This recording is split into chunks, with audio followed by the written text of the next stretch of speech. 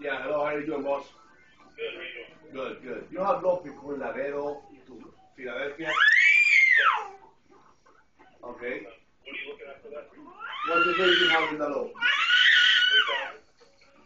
$3,000. $3,000. Yep. Is it ready now?